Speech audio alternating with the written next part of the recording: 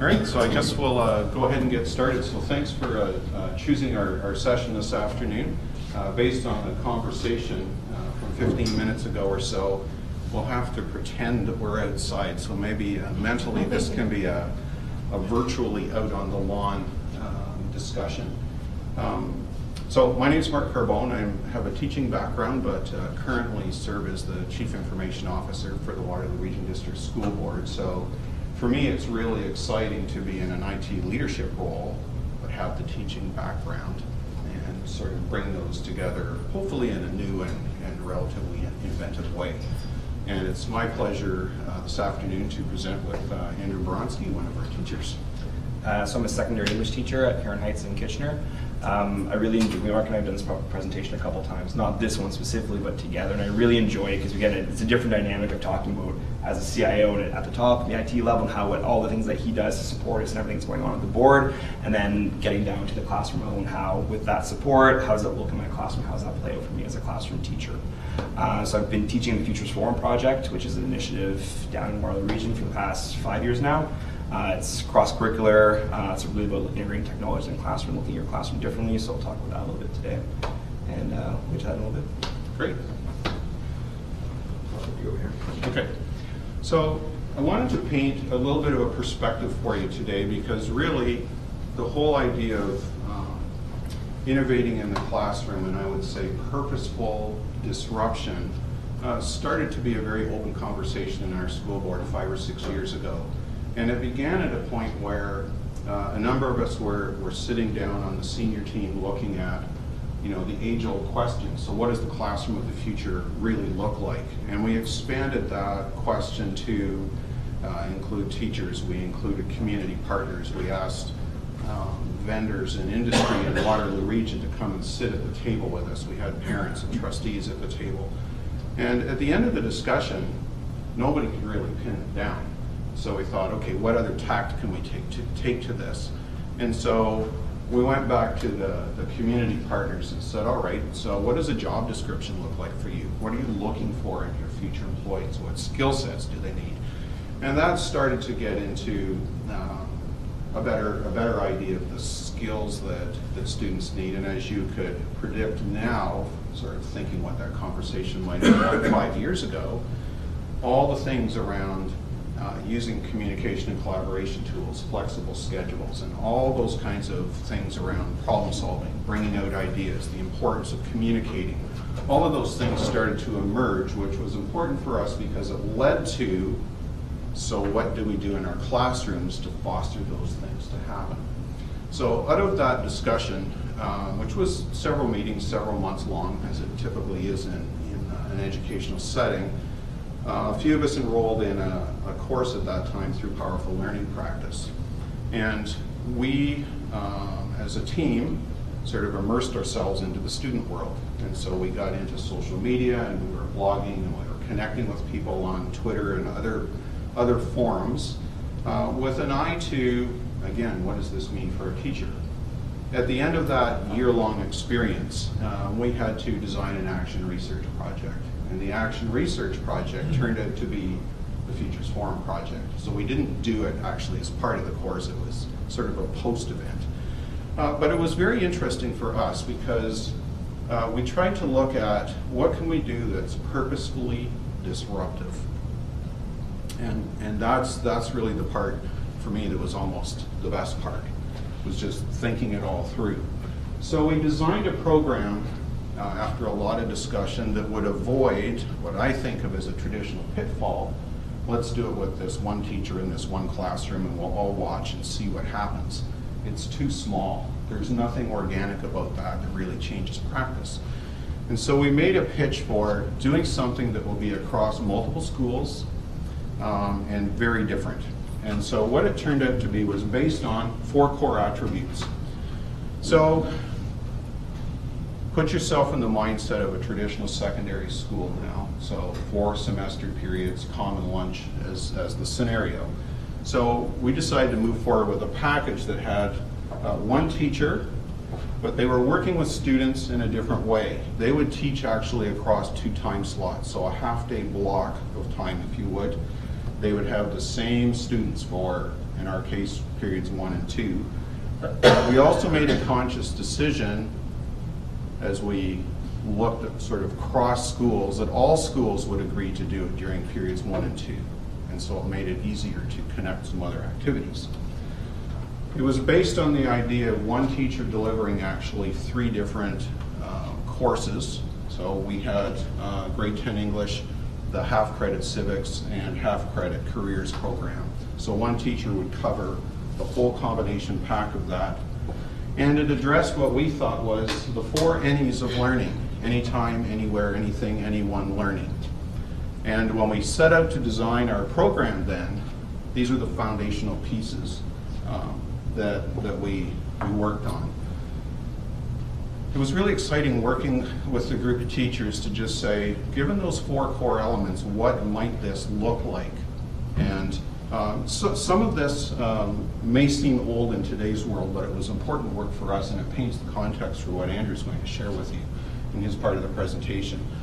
Writing online at that time, we really wanted to experiment with getting off of paper and into online, sort of that idea of from paper to publishing. What did that mean for students?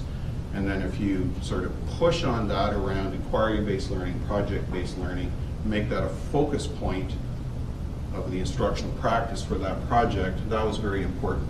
So we looked at uh, content creation. In the original version of this, um, the students were responsible to do collaborative inquiry, and groups of students had to publish online once a month, and there was a commitment to do that. I think one of the most unique features and a very powerful feature in this was establishing our cross-school novel study.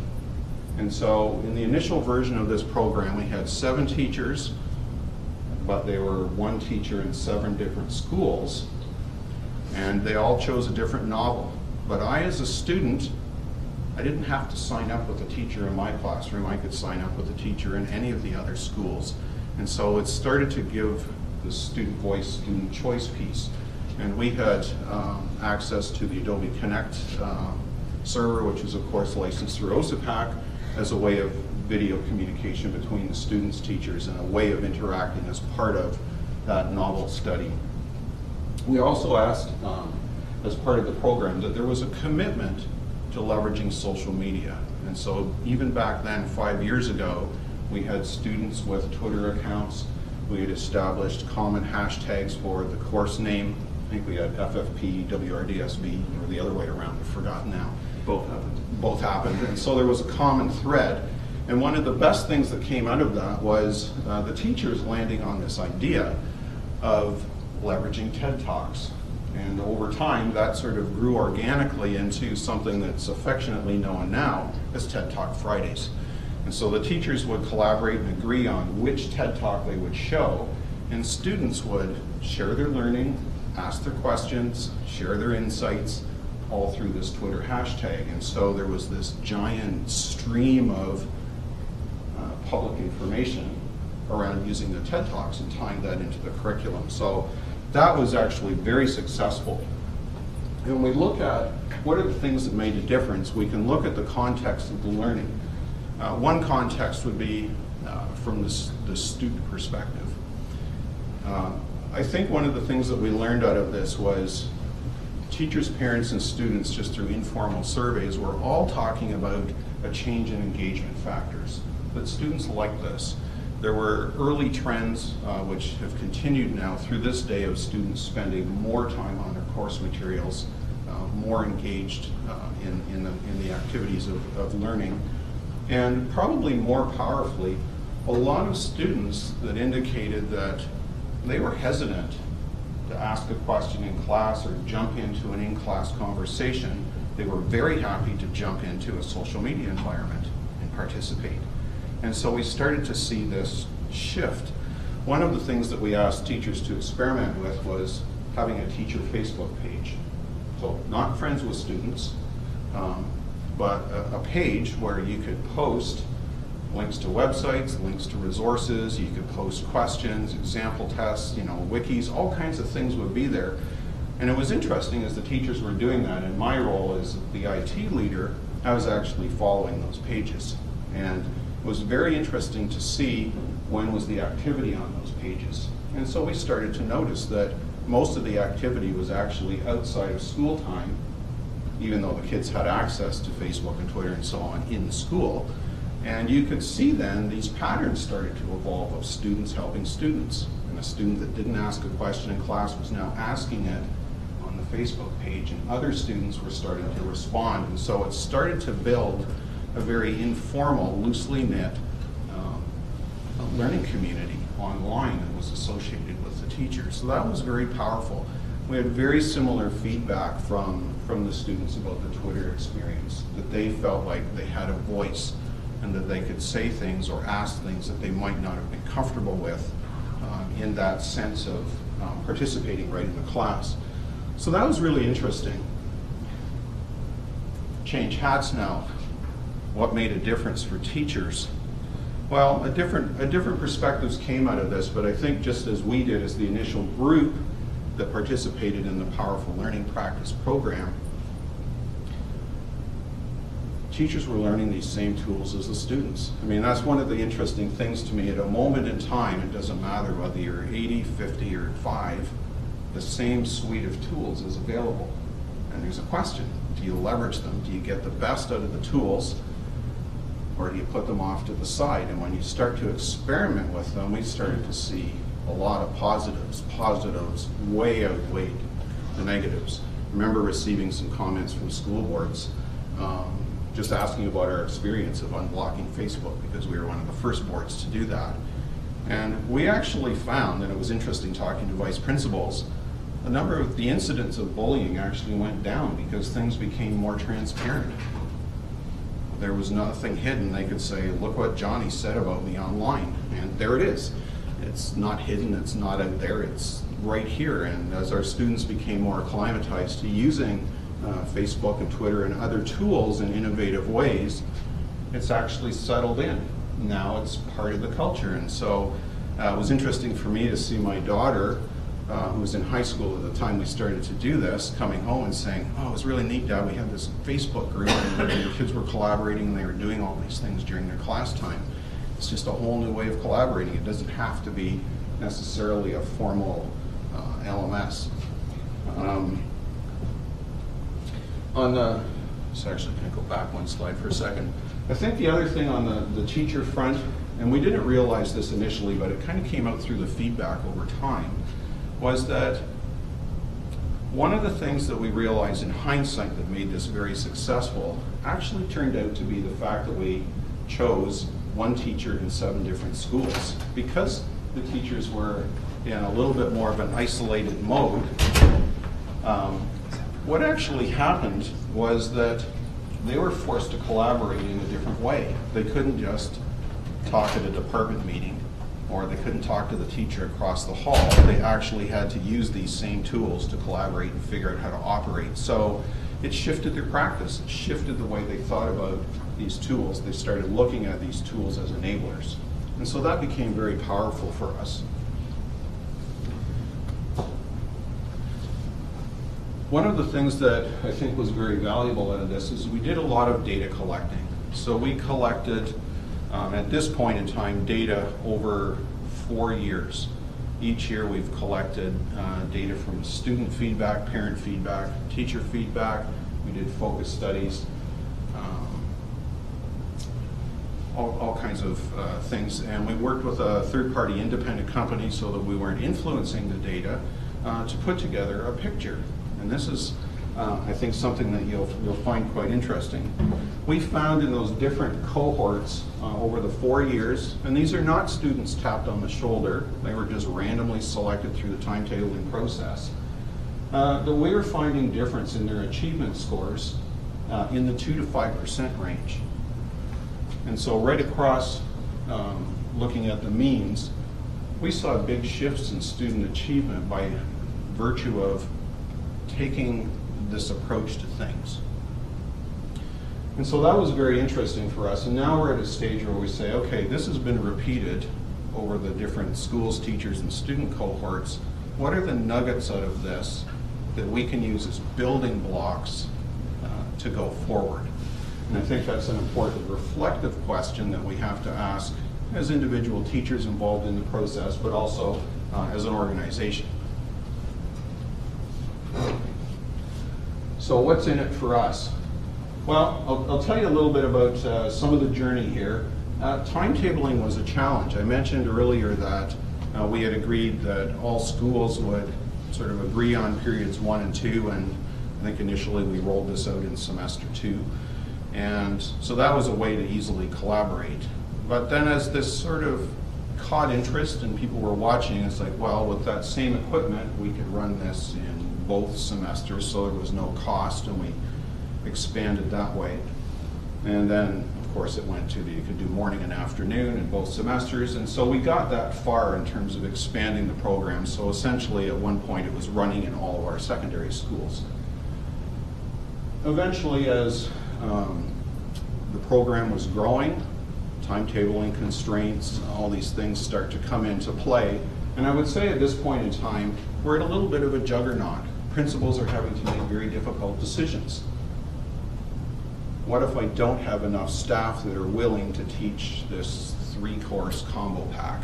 That becomes a, um, a limiting factor in some senses. What if um, I have to make a decision around, do I run another Futures Forum section, or am I gonna cut drama, I'm gonna protect drama and go down a Futures Forum? And we started to run into these logistical uh, challenges. So that was, that was one element, uh, that, that's where things are now. And I think probably if you actually measured strict numbers, we probably have a few fewer sections of that running at this point, just because of those kinds of challenges, shifting in student enrollment and other factors. Uh, There is, um, I love this, this phrase that uh, Andrew and I landed on, the binder problem. Uh, That's something that's a reality for us. The original teachers that were in this from the very beginning, they developed a course. They learned the tools. They were the ones that were isolated. They made this theirs. They owned it. And as other teachers started to watch, become interest in moving forward in this, then they would say, well, I want to teach Futures Forum, but where's the binder? Just hand over your things and I'll carry on. And we realized as we were working through this process that that's when the aha moment about the isolation went on. Just because Andrew was the Futures Forum teacher in his school and he hands over the binder to me, that doesn't mean that it's put in the same context with the same experience, with the same shift in practice. And that's what was really interesting about this. And so in response to the binder problem, what we've ended up doing is actually splitting the teachers into different cohorts. So there's a few sort of slightly different versions of Futures Forum. Again, each cohort can own their own version of it. Wasn't intended to be cookie cutter, it was the idea of being disruptive in new ways that would have a bit of a ripple effect across the system.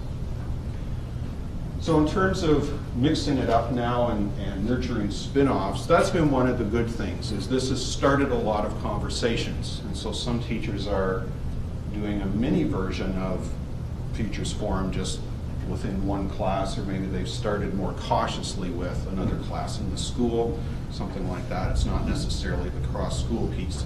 But I have to say personally, I believe that inter-school, whether it's within your own school board or somewhere else in the world, that's a part that makes a huge difference because it really makes you rethink and collaborate in, in brand new ways. And then lastly, uh, scaling up. Um, this is kind of brings us up to today. Um, so we have, um, over the last, uh, well, I guess three or four years, been gradually building up our Wi-Fi network, putting uh, uh, mobile devices into classrooms. We've had a variety of strategies there. Um, not to get too off into the technology part, because this really wants to focus on student learning. Um, but our board does support both iPads and Chromebooks. We still have some labs. We're in a giant shift of things that's going on right now. But I would say by and large, schools are gravitating to uh, Chromebooks and iPads in droves, much less on sort of the Windows netbook idea. Even though that was one of our choices, we just find people pulling back from that environment. And we're starting through a process now of how do we sort of tease schools through the process of taking out the labs. So we've started that in elementary schools, first with dismantling labs, and now we have this program that we've kind of dubbed the sliders model. So as we go around to each school and look at what equipment is up for replacement, what we're saying is, let's say, for example, the school has 15 desktops up for replacement, we're saying you can't put 15 desktops back in. You have to mix it up. Some mobile and some desktops. If you want to go all mobile, that's fine.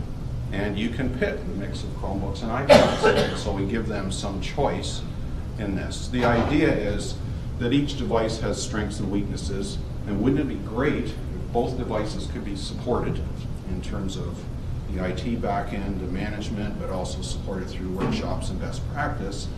that in an ideal setting, teachers would have access to the technology and they could choose the tool that best fits the learning environment. That was really our, our hope out of that. And so that's something that we're working through uh, in our elementary schools right now. Uh, on the high school side, um, they've really benefited from this point extra equipment, primarily Chromebooks at this point, and we're, we're just starting the conversation of starting to pull some labs out. So just as I get ready to hand things off to Andrew here, where we're at with uh, one-to-one is this year we have uh, three of our secondary schools uh, where we did one-to-ones with all grade nines. And so that's just rolled out this fall. Feedback so far has been very, very positive. Those three schools already want to take the nines to 10 and do Chromebooks with next year's grade nine. It's been a very powerful um, transition. And uh, Andrew's been right in the thick of both the uh, Futures Forum project as well as the um, helping to lead his school uh, in terms of the one-to-one initiative. And so maybe this is a good point to sort of slide into uh, your part of the presentation. Sure, uh, thanks, Mark. oh. Can I ask a question, Mark? Oh, certainly. Uh, so what you were just describing there, the one-to-one, is that your, the board's been paying for the devices for all the nines in those three schools? We did. Excellent. Yeah, it's been awesome. Great, okay, thanks. And it's, it's, the device belongs to the student, so they can take it home and the whole bit. It's not kept at the school. It's your Chromebook. So is it, wait, the board paying and the students keeping it? Uh, We haven't figured out what happens after four years yet. If, if this unfolds the way I hope it would unfold, the idea is, in essence, this would be the start of phasing in one-to-one Chromebooks for all secondary schools. Right. So the question, I guess, on the table is, what value is a Chromebook at the end of four years?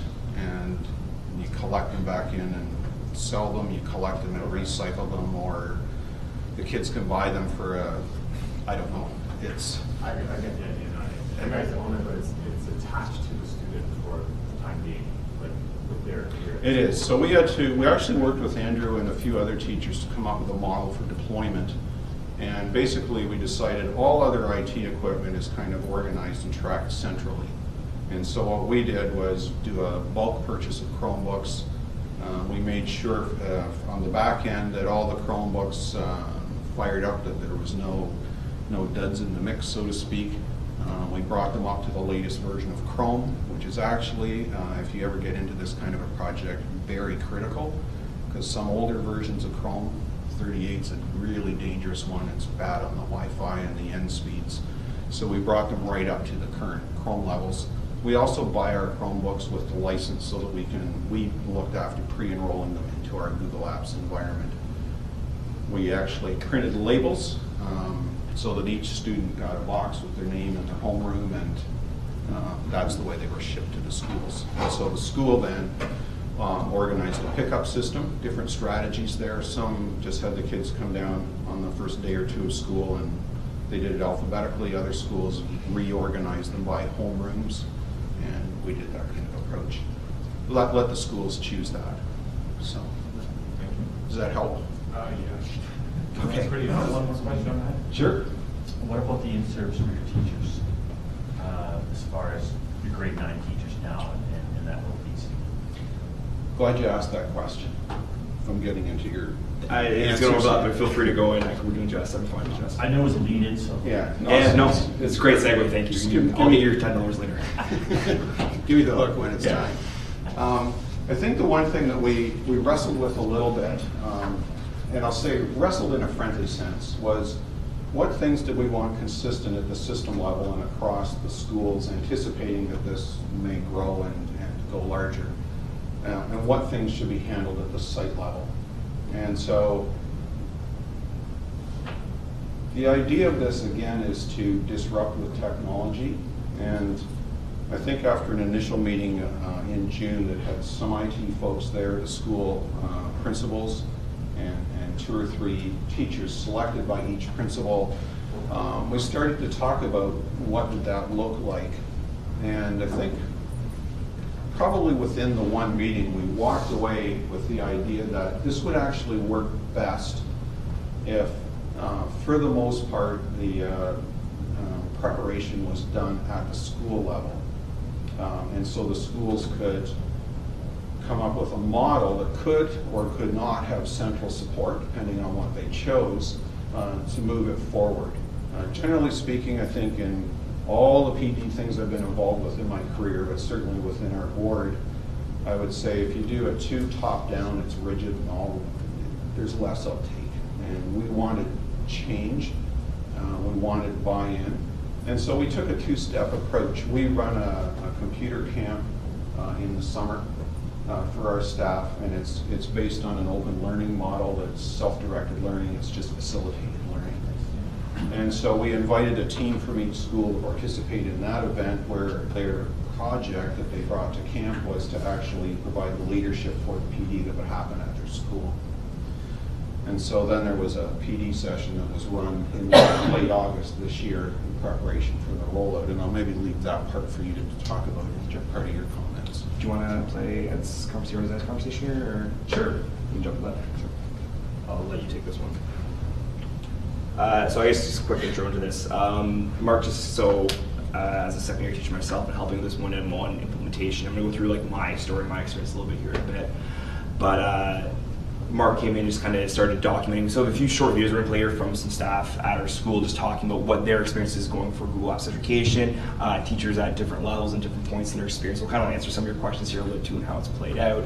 But uh, as a whole, and it's been kind of a shift, and really to answer your question, not a whole lot, but it, then that's been a very positive experience, and it's an interesting way of looking at. Normally, think we want to do something new in the classroom. We need to bring everyone to the board and sit down here, like long conversations, like very top-down approach. And this was more of a let's get Chromebooks in kids' hands. Tell staff that you're going to have one-to-one in your classroom. Now your kids are going to have laptops every day, and they can take them home. And then let's see how that changes your practice. And it's been actually a really positive experience. And I would say, just from my standpoint as a teacher, from and again, don't get me wrong, I, I do enjoy PD. I learn a lot from PD, like formal sessions that are run by admin from schools and top to top down approach. But I would say I've seen more change in teacher practice and more evolution in what's happening in our classrooms in the past month by just giving kids Chromebooks and saying they've got them than I've seen from a day at anywhere, uh, right, any session or coming here for a day. And I, I love GAFE summits to change my practice as a teacher, but just by saying, here's the device, your, your class is one-on-one, it's been transformative for our school. Absolutely. All right, and so uh, this is the conversation Mark had with Ed Doe. He's the principal of my high school, just kind of talking about what this process has been like. uh, accommodation steering committee meeting yesterday. I thought uh, at the meeting, Ed shared a wonderful uh, perspective, and that that would actually be a good spot to kick off our conversation today. Okay, thanks, Mark. Um, yeah, sometime during the summer, uh, I read an article on, uh, I think it was the CNN website, but, and it talked about uh, ranking presidents of the United States using the criteria which president of the United States changed the discussion in the country the most. And, and I thought that uh, changing the conversation was a kind of a nice paradigm to talking about educational change because we've had things come and we've had things go. And um, the president that changed the conversation the most, by the way, was Ronald Reagan, according to that survey.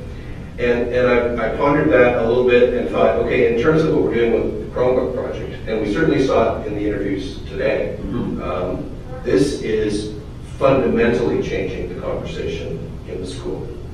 This, like no other initiative I've ever seen, has uh, changed the way people not only interact in their classroom, but interact with their colleagues, interact with the school board office, interact with the administration, and it is a fundamental sea change in how we do business in schools today. And that's only been but it's not less than two months in, and that, that's, we're already seeing that, and that came out in the interview.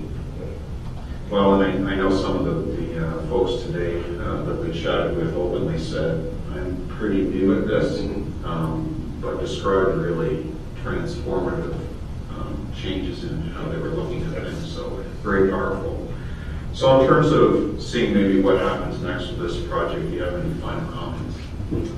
Um, in terms of what, from the system level, or, yeah, this, this to me is one of those experiments that has been so successful right from the beginning that it would be my hope that this would map out not only for the next four years for, and, and afterwards for kids that come to my school, but that other schools take a look at what's going on and are caught up in the same, the same wave. And that it's not too far into the future before every grade nine kid walking into a, a school uh, in the Waterloo Region District School Board gets their Chromebook on the first day of school. And, and it just becomes a natural part of what happens in education in this part of Ontario. Over to you. All right. You want me to do slides? Uh, that's fine, I can take it. Um, so Mark's already done a great job of talking with the Futures Forum project. So I've been teaching in it for five years. Um, it's been phenomenal as a teacher. It's been really transformative practice. Uh, one, the idea of going cross curricular, having the same group of students for two periods back to back, um, really allowed me to do a lot of different things in my classroom as a teacher. Um, we're, has anyone heard of MSIP? Familiar with MSIP or MSIP board? So there's three high schools in our region, not the one-to-one project schools, but uh, my school overlaps with both. We've got this called uh, MSIP. It's multi-subject instructional period. Um, what it is, instead of having say four say five-minute periods, we have five 60-minute periods. So we took 15 minutes off each of the four blocks. And then these students have a period that's uh, cross grades, so it's a mix of a classroom teacher in there, but there's no formal instruction happening. And they get one period every day for an hour, where it's essentially kind of, kind of a work period for them, where they have resources. So they can travel amongst the school, work with other people. We have grade 11 or grade 10 students mentoring grade 9 students. Um, if you want help with a certain subject, you can travel to another classroom. Like, say, if I'm an English teacher and you've got a math question, actually, with a strong math student, should be able to help you out. But if I can't get it, you can travel to another classroom and see a math teacher. So for my school, I actually had my kids for uh, three periods at points, and uh, having them for that three hours together um, really allowed to change what I was doing in my classroom. Um, for a lot of us, there's a very big focus on content or trying to get through the curriculum, and while I'm definitely working through all of that, um, I could overlap. So if I'm looking at civics and English that day, we might be looking at a concept or learning standpoint from the civics, but they're going to try and demonstrate that we're learning through English. and I could overlap that way, and really open up a lot of ability to kind of free my class time.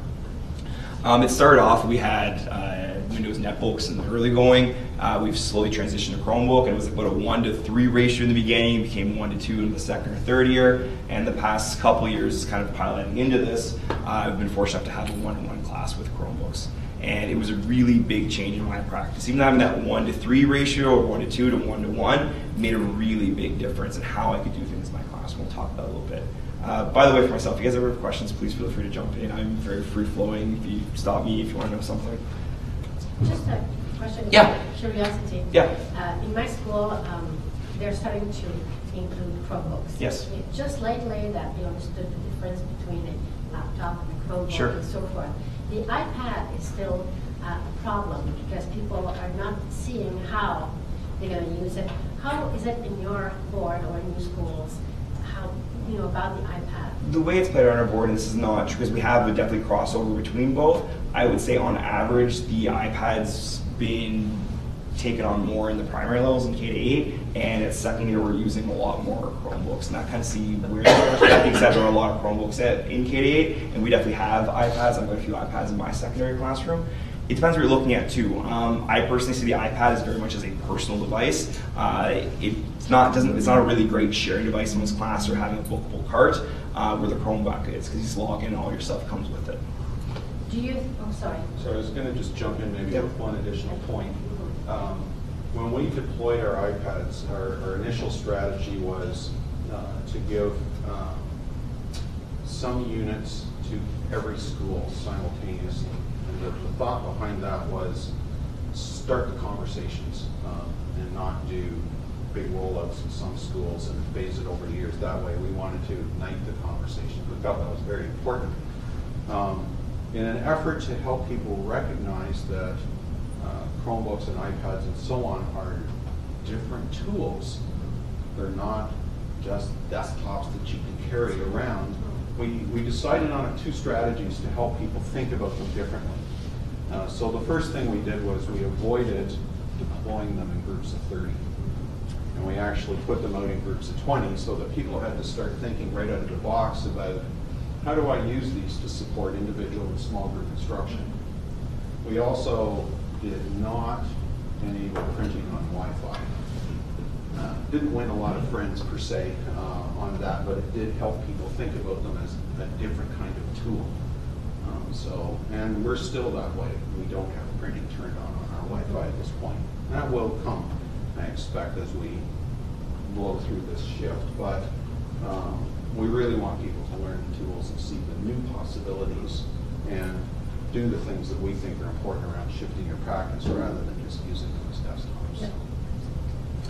Um, so as we started integrating more and more technology into your classroom, whatever it may be, uh, one thing we kind of kept talking back to is like, what is it doing? So if we have tech in our classroom now, whatever it may be, and it's been a Chromebooks for myself for the most part, and going one-to-one, what does that look like and what am I doing in my classroom? How does that change learning for my students? How does that change what I can do in my classroom? So of them playing around with it. I'm just curious, who's familiar with the SAMR model? This before? Yeah, number of you. Um, and so this was kind of a good focus for us. I really enjoyed this model as a teacher because I kind of, I was definitely, and it's look, it's kind of been tiered bit. You kind of start off in this idea of substitution, tech acts as a direct substitute with no functional change. Um, and that's when we're talking about the one-to-one, and like talk, you asked about how's that training for teachers going. This is what we're a lot we're seeing. This is where most people start. Is uh, a lot of our teachers are saying, "Hey, your kids got Chromebooks now. You got this one-to-one model." They're just taking what they already were giving to them and hey, "Here's a paper worksheet. Instead of doing a paper, now you're just doing it on the Chromebook." You didn't really change your practice in any way. The students are essentially doing the same thing. Don't get me wrong. There's some positives to that still. They now have easier access to it. There's easier sharing back and forth between the you if you're using Google Docs. There's some positives that come with that, but you haven't really changed what you're doing in your classroom. You're not really affecting learning in any way. Um, and they kind of some dynamic augmentation, so text as a direct substitute with functional improvement. I'm going to go through an example for myself of how my practice started, how it's kind of shifted over time. But you really want to start trying to this transform the area here. We have these devices for students, and the Chromebook is a fantastic tool. You can start really doing brand new things that really weren't a possibility even five, six, seven, eight years ago in your classroom. Uh, so an example for me, uh, even before we went to GAFE as a board, uh, as a high school English teacher, I really loved Google Docs. It was a fantastic way for people to collaborate, look at writing, and evolve that over time. So I had my, I was asking my students kind of, hey, can you go create a Google account and share these back and forth with me? It was really, uh, any Google Classroom users in here? Uh, I love Classroom. It saves me. This this used to be like a 60 step process for me. Like I would create a Google Doc, a template. I would post it to my class website. My students would go there, open the document, click on File, make a copy. They click on Share. They type in my email address. They would get it wrong, so I wouldn't get it. So I have to follow them again, try and find it. I would go into my Share with folder, find it, move it into a folder, organize all this stuff together, try and give them some feedback, and then go and remind them that I give them some feedback. And there's this bizarre process of going through all that. And I loved it. It was amazing. This was about five years ago, and it was fantastic. And now Classroom's like click, click, click. You're done. It's all set up for you. Uh, but looking at this process here, so I'm just going to give you actually just an example. This is years ago now. Uh, it's the first time I actually tried using Google Docs. And my practice evolved a lot with my students and how I use it. Uh, but as this example here. So here's a kind of finished off document um, from one of my students. And this is a grade 10 class. My first uh, second year of Futures Forum. And I can see her finished product here. Um, on a very basic level, just in the idea of feedback. Again, we've always given our students feedback, but uh, I remember as an English teacher, I had like, you know, as a student as well, you know, scribbles all over the place, I could fold this arrow here, and by the time I get to my second, uh, my 20th or 25th essay, my writing's getting really terrible. This is a nice, really easy, streamlined process for our students where you can see things are highlighted, this is something that you give me feedback on, you click on it, the dialog box pops out, and this is what my teacher wants me to get. And it was an asynchronous conversation. For me, again, a lot of our classes, they're large. We've got 25 to 30 kids in our class. I've always thought the best way to work with someone is on a one-to-one space, but we don't have time for that in our classes and work. But going this route, I can essentially have an asynchronous conversation with my students. So they're doing their work here, and when I can jump on prep or I get some time at home, I can jump in, leave them some comments, and they can reply back to me. We can have that conversation back and forth. Um, what I really like, again, just kind of applies to you can have multiple editors too. So when it comes to peer editing, you can share with the student, get feedback that way, they're learning from each other. Um, one of the things I really love though is this idea of C revision history. And we get a look into your students' head now and their kind of insight. I can look at their evolution of learning. Are they actually using the feedback I'm giving them? Prior to going this model, I would say as an English teacher, I'd give maybe four major paragraph assignments once a month. And I would give them one in September, they would go and do it, I would assess it, put it on a rubric, I give them some feedback, and we'd move on. And I'd wait a month and I'd come back to see where their learning is at. When they walked out, that paragraph probably ended up in the recycling bin, they lost the feedback, they probably didn't really do a whole lot of time with the feedback, they look at the mark, and then they kind of walked away, which I get that, that's what a lot of our students do. Um, I've made the shift, kind of just moving away from that and kind of going more of a form process back and forth with my students. So I can look at the evolution of their learning. Are they actually using it? So I can scroll down here and look at an early copy of this. And I like using this one because the students uh, who came from another school board to us, another school, uh, from brand new school, we're very scope, scope and sequence at my school. So like these are the skills we want you to learn in grade nine, and then we have these basic expectations for they start at grade 10. So I jump back in time, look at an early version of her writing, I send the class, I do my lesson, this is my expectations for your paragraph, and this is what I got. And when I came in here as a teacher, I'm like, okay, I clearly did not do a great job reaching you. I, there are a lot of things you want to take away from this, and this is what we walked away with. Um, but through this revision process now, maybe myself going and giving feedback, and other, students jumping on her doc and giving her some feedback, I can quickly click through and see, all right, is she actually using the feedback she was given? So as I, as I evolve through stock, okay, someone's mentioned that she needs to double space. Um, look up here, you can see To Kill a Mockingbird is not in italics, identified as a book. I can see these things evolve over time. She starts to add an MLA. And so this is a really quick, easy insight into this, uh, I my student's mind. Can I see, is she really using the feedback that I'm giving her?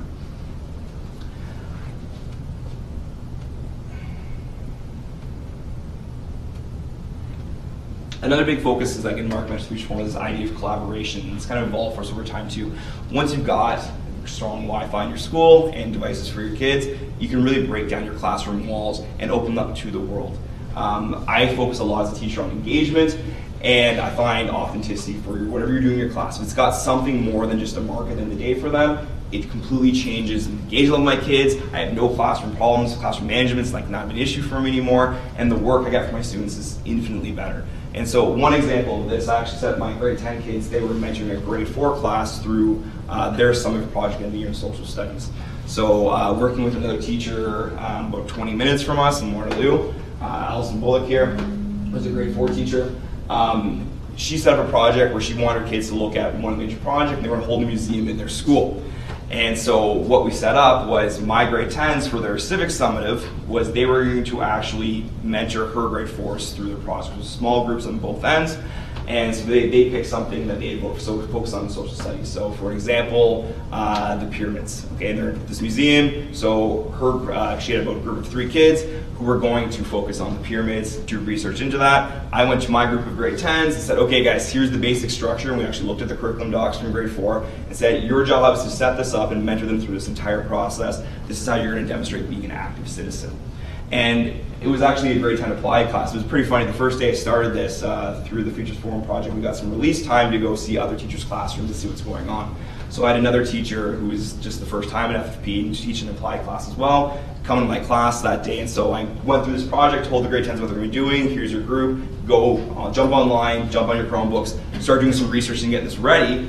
And then we kind of just went off to the side, we were talking for 15, 20 minutes and gotten off to some really good conversational classroom practice and stuff. And then I can still remember he stopped me like mid-sentence. He said, he was just looking at my class like, are they always this engaged? And I turn around and everyone was completely zoned into this project. And in my, if you've taught grade 10 apply before, that you can rarely say that, uh, but that was my experience that day because it had this authentic piece where they were tied to their classroom, had real life value. I said, you know, if you guys tank on this, you're gonna be not just hurting yourself, you're gonna be hurting this group of grade fours. And uh, this, the work I got from was really phenomenal. It was a very simple thing. So they collaborated in a bunch of different ways. They had, my guys were building websites with Weebly for them to go through on their Chromebooks. Uh, and that was how they structured these students, the grade four. So they were jumping on the website, seeing what my grade 10s had put together. Um, and that led into a shared Google Doc where the grade four started brainstorming and my guys were sharing back with them and giving them some feedback on that. And then that led into uh, Google Hangouts. We set up a Hangout in class where my grade 10, three, three grade 10s would walk up and talk to their three grade 4s they had partnered with and collaborate digitally online. And both like, uh, myself and Allison found this kind of really, we saw much better work than we'd ever seen our, from students in these projects before. Um, just looking at time here, I'm gonna skip past. I had a quick video of one of the hangouts between the kids, but I'll skip past that now. Um, another big focus for us with going into now, now you've got one-on-one, you've got Wi-Fi in the schools, being a kind of shift to project-based learning, which I was just kind of talking about there, and also this idea of inquiry-based learning. Um, Mark mentioned the Futures Forum, we had what was called the online book club, where we had students working with different teachers from different schools in a collaborative book project. Um, how that's evolved in my school, like I, I'm always, as a teacher, I'm always really interested in teacher practice and what are best practices and collaborating with one another. And so this semester has kind of trickled down within my own school. And so my grade 11 uh, university English class, um, we've got four sections right now, and we do a kind of essentially a novel study where the students have a choice of one of eight novels to do. And they can choose whatever they like, um, but then we get some, we get small groups. We focus on small groups, such to like three or four kids in a class. And so while it's fantastic and this it's got student voice, they don't have a whole lot of people to communicate with about the book. So we decided to do at the same time or four sections throughout the day, we had an open collaborative blog. Going to just jump into this really quickly here. And so we just put this quick uh, website together for our students. They come here, um, we went through our first one last week. And so here's the nine book choices they had. And they, students could choose this. And instead of being just tied to the three or four kids in their class, uh, now they can have a group of about 20 to 25 people. Okay, or some, so we have some smaller choices in the books, it might be a group of 10. Um, and now, when they're reflecting on their text at certain points, they jump on this blog, they're sharing their reflections, their analysis of the text, and now they can read the reflections of other students in their school, but in different periods, and see their reflections on the wall. And they're responding back and forth. Uh, they have a really broad, open kind of topic for their essays that they're going to be doing on these novels at the end, and they're working through that process. They're giving feedback back and forth. They're sharing quotations. They're sharing insight into the book. Um, there's respectful disagreement happening. So if I just jump on, I don't know, jump to 419 here.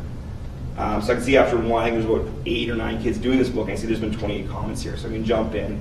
I can see what they're going through. And again, I'm not just looking at my own students in my classroom here, but I can see responses from different students, kind of what they're getting from this and what they're taking out of the text, and the evolution of their thought process and their learning.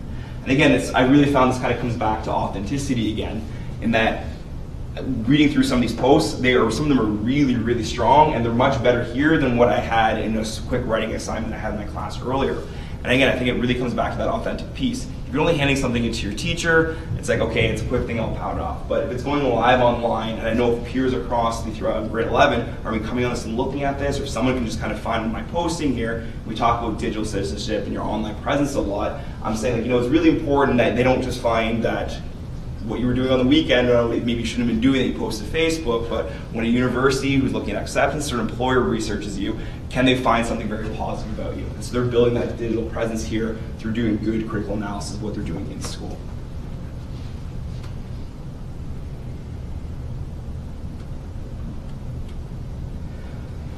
Uh, so I want to kind of slide into how that's kind of like my story and how I evolved to here as a teacher my practice. But now that we're looking at this idea of one-to-one, and uh, we just started for about six weeks in now, uh, literally it happened very quick. And it was really like, you know, you sound like, okay, you're giving a device to every kid in your school. Uh, in grade nine, I was about 350 Chromebooks going in our school this year.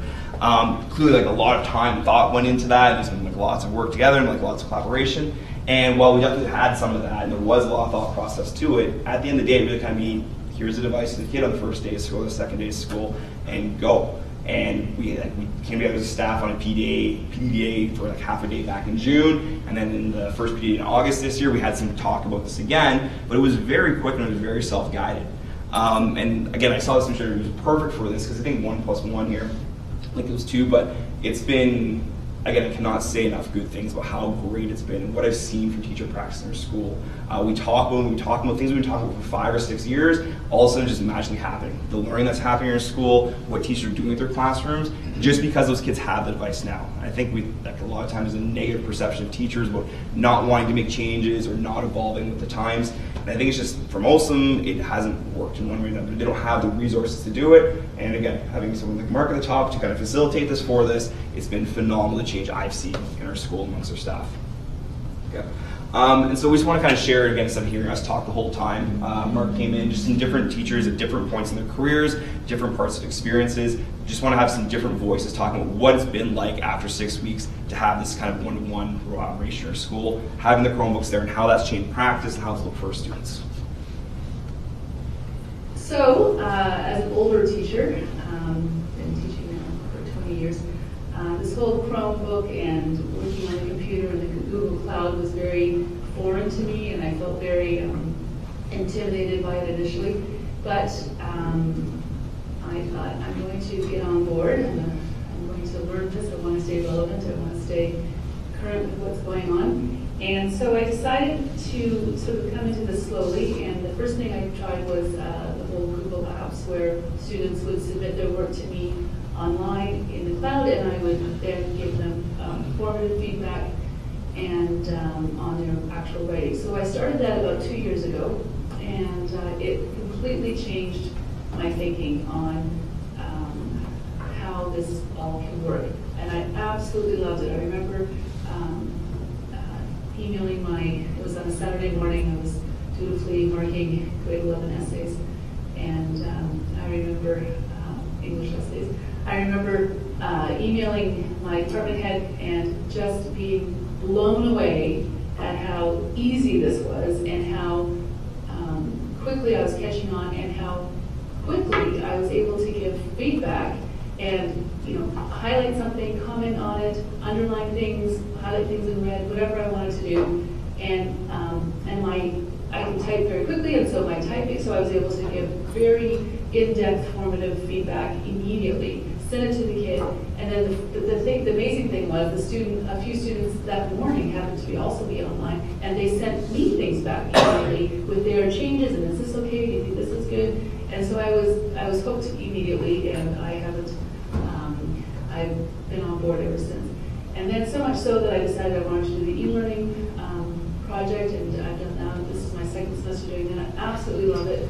Have again been changed my uh, teaching practice in that regard.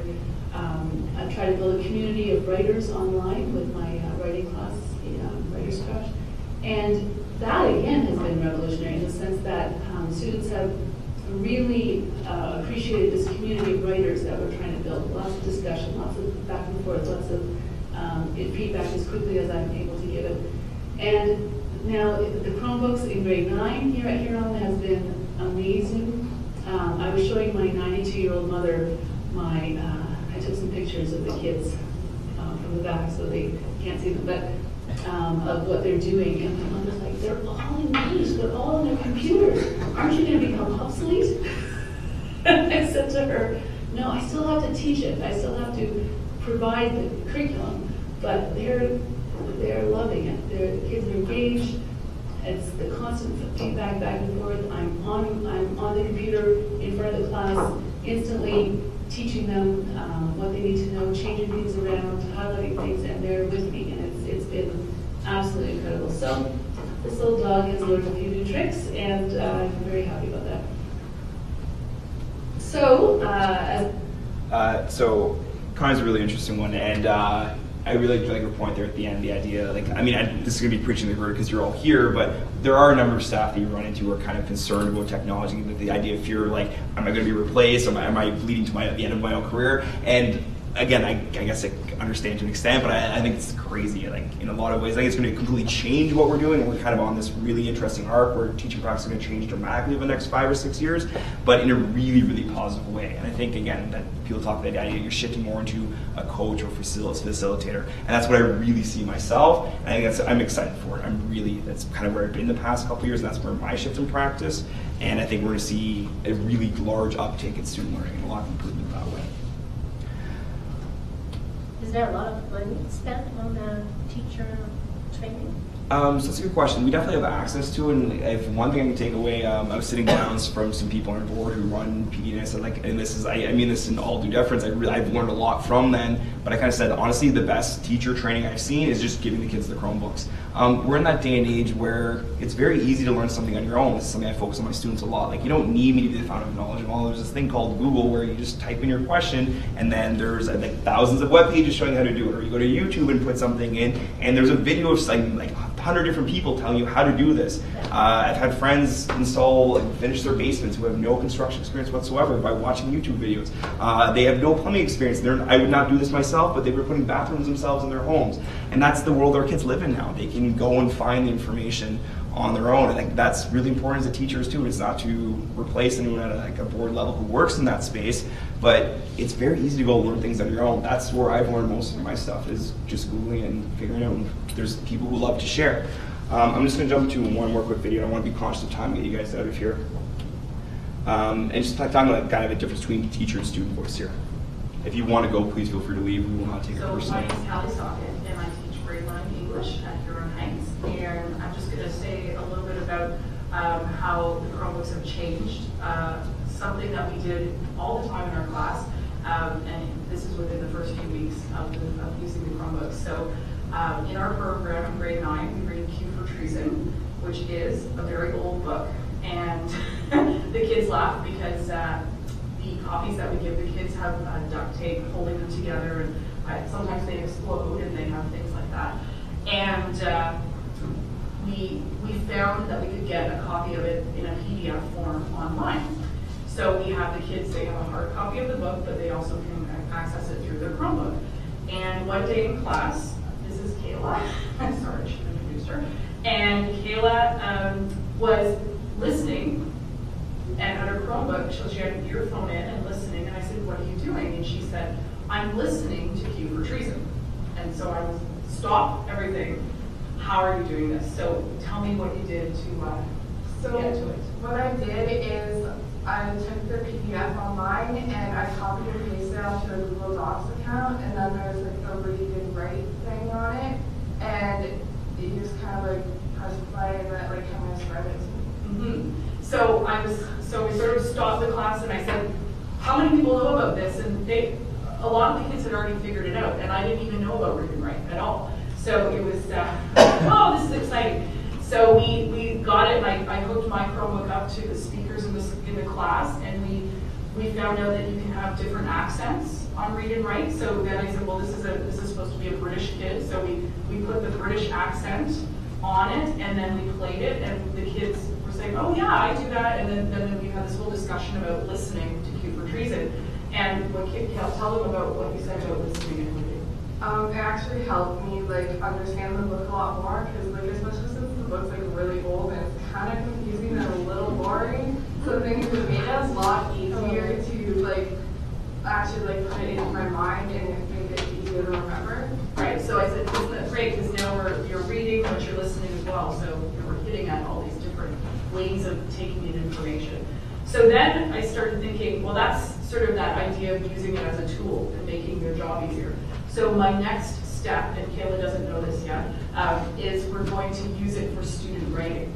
So they're about to start writing a formal paragraph, and because it works through Google, I'm going to have the students listen, they're gonna write their paragraph, and then they're gonna listen to their paragraphs before they submit it, because we find that, I've, I've always said to kids, you should read your writing out loud. Um, and this way, the computer, or the the Chromebook's gonna do it for them. And they can listen, and especially if kids are having problems with doing punctuation, it reads to the punctuation, it reads to the periods, so they'll be able to hear, did that sentence make sense?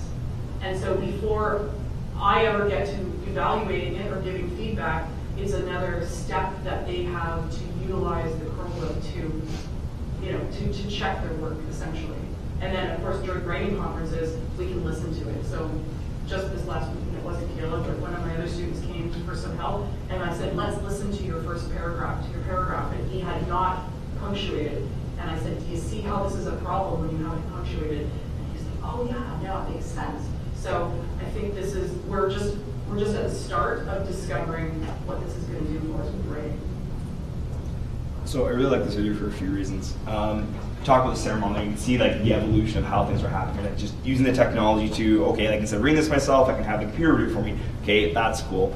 And then talking about like different voices and punctuation, like the pronunciation of words, uh, and then the evolution into she's flipping, hey, this is a great tool. I can flip this into how improving student writing, have them listen to their own writings. Again, we have a lot of experience. We tell our kids to read out loud to themselves or have some read to, you, but it often doesn't happen.